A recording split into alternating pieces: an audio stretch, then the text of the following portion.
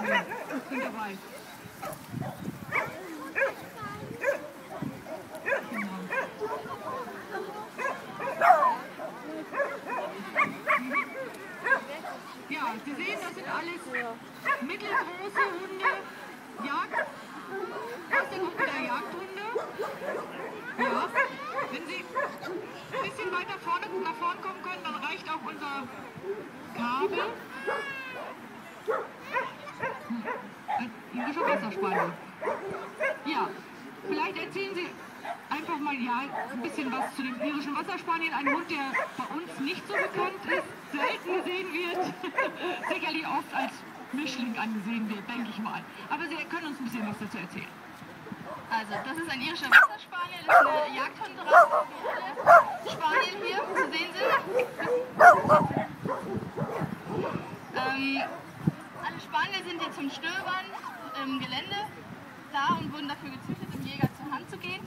Diese Rasse ist die größte Spanielrasse und ist eine Verbindung zwischen einem Retriever und einem Spaniel. Das bedeutet, er bürgelt und stöbert vor dem Schuss und apportiert genauso gut wie die Retriever nach dem Schuss.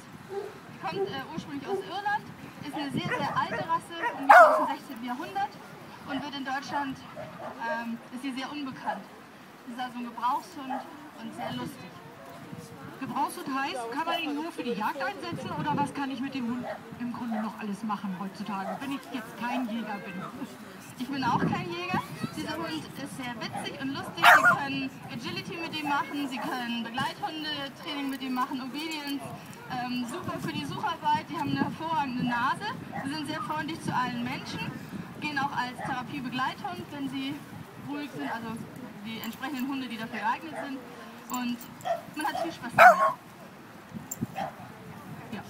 Und leichtführig, sagten Sie gerade. Leichtführiger Hund, also ist auch leicht für mich zu erziehen, wenn ich jetzt noch keine Hundeerfahrung habe oder sollte ich besser Hundeerfahrung mitbringen?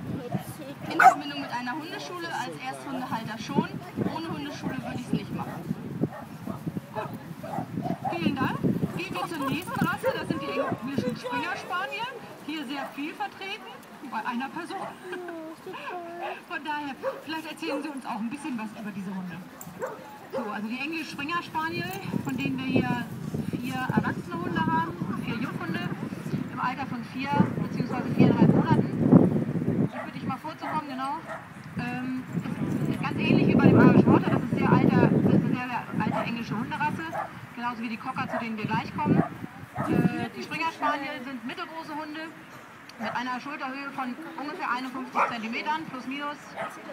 Ist im, Im Standard ist 51 erwähnt für Rüden und für Hündinnen. Wiegen so Anfang 20 Kilo und sind ähnlich wie die Irish Water sehr, sehr fröhliche, sehr unkomplizierte Hunde, die diesen hohen Willen haben, Dinge richtig zu machen sind aber auch sehr sportlich, darf man nicht vergessen, die möchten laufen und die sollen auch laufen, die können äh, Obedience machen, Agility, was weiß ich, laufen gern am Rad, am Pferd, sind, passen sich also unwahrscheinlich gut an, nur möchten eben bitteschön auch gerne in irgendeiner Form bewegt und ein bisschen gefordert werden. Das ist alles nicht überkompliziert, aber man darf das auch nicht vergessen, nur zum, zum Rumliegen ist er eben nicht. Die Fellpflege, die, die Fellpflege ist relativ einfach, trotz des, des schönen langen Behangs. Die haben seidiges, relativ schlichtes Haar, ähm, bedürfen schon einer Pflege in Form von einmal die Woche durchkämmen und bürsten und dann werden eben bestimmte Körperpartien leicht angeschnitten, damit eben dieses typische Aussehen erreicht wird. Das ist beim Springer Spaniel sehr, sehr unkompliziert, beim Cocker etwas, etwas aufwendiger, aber auch keine, keine Wissenschaft. Und ansonsten ist es ein Hund, sag ich mal, der sich für viele, viele Gelegenheiten eignet. Die gibt es in braun und braun, also braun-weiß, wie diese Hündin, oder eben braun-weiß mit Lo, wie den Rüden und, ein, und die kleinen Junghünden. Das Ganze auch in schwarz-weiß oder schwarz-weiß mit Lo. Wer dann lieber die schwarz-weiße Variante bevorzugt. Ja, das wäre so zu den Englisch-Springern das, was wir dazu zu sagen haben.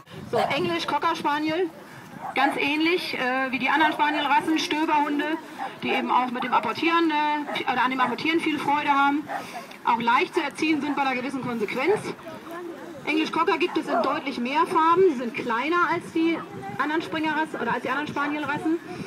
Sind die Hündin Ende 30 cm bis 40 cm ran, die Rüden um die 40 cm. Da ist die Toleranz auch nicht so fürchterlich hoch nach oben und nach unten.